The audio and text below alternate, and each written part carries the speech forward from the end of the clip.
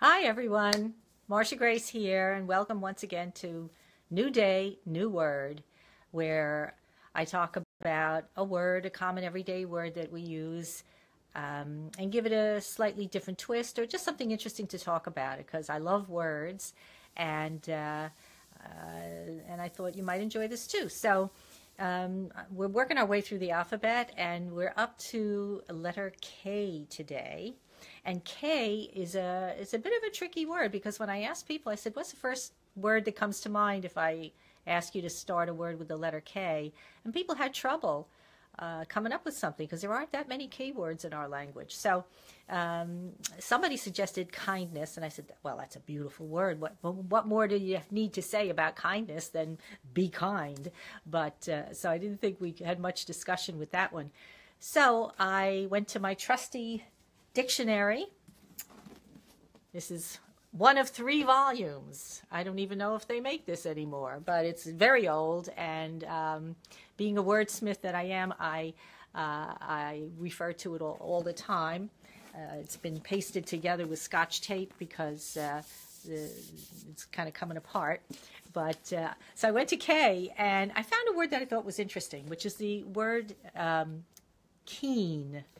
K E E N. And I like that word because um, it's one of these fascinating words in English, and I do feel bad for anybody that has to learn English as an adult, you know, as an adult or uh, later on in life as a second language, because we have more we have more um, uh, exceptions to the rules than we have rules.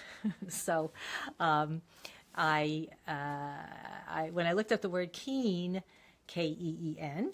It has two very, very distinct meanings, and I thought that would be fun to talk about. So, the first meaning, which comes, I think, from the Old English, is um, sharp, means keen. When you say, it was a, word we don't really use a lot today to describe somebody who's really um, terrific or wonderful or does something great, and you'll say, oh, he's peachy keen. That was an expression that was used many, many years ago.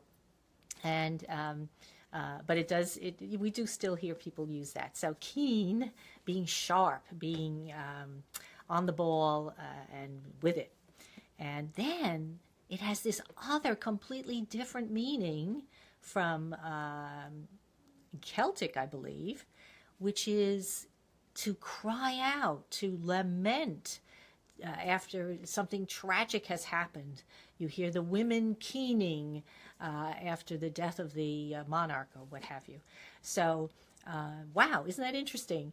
One word, spelled the same, and yet it has two so completely distinct meanings, which is a good example of how we can be talking to one another and using the words we all understand, and yet not really understanding each other because we're accepting different uh, definitions for the very same word.